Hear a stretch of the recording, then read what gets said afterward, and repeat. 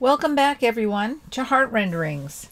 We hope you subscribe and you can hit notifications. I think it's a bell if you want to be notified of when new stories come on.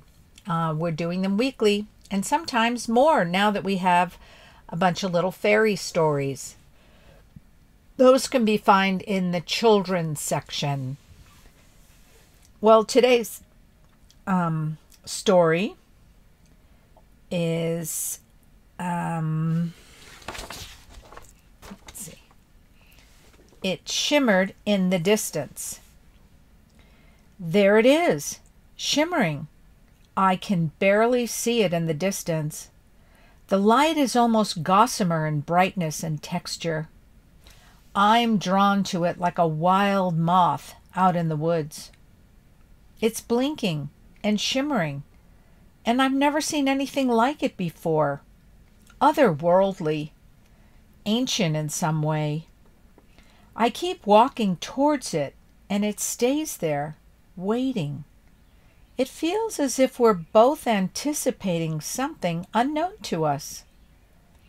I'm finally up on it, or closer, and I find myself lifting up a branch in the bush to get a better look.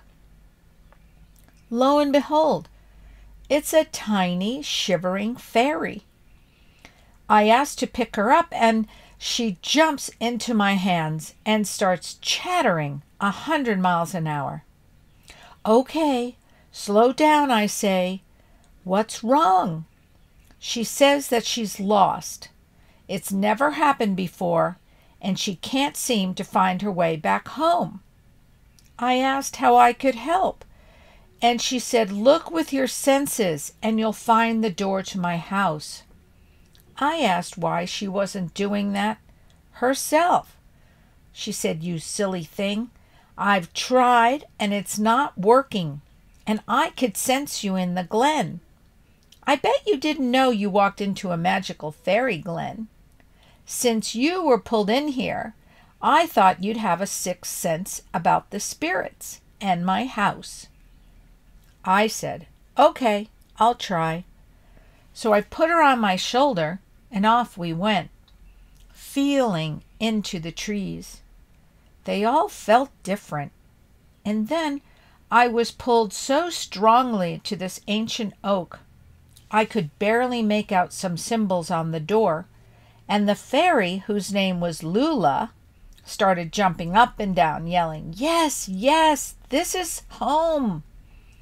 So I opened the door, and in she flew, whereupon she invited me in for a cup of tea and cookies to thank me. As soon as I stepped in, all these fairies and elves jumped out and yelled, Happy birthday! Who knew they had planned this all along? How did you know? I said.